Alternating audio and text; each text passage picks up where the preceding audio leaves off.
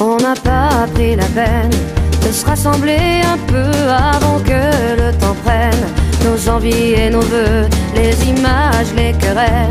Du passé rancunier ont forgé nos armures, nos cœurs se sont scellés.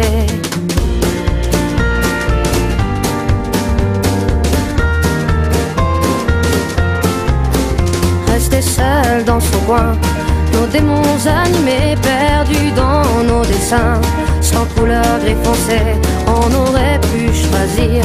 Le pardon, essayer une autre histoire d'avenir que de vouloir oublier. Prenons-nous la main le long de la route,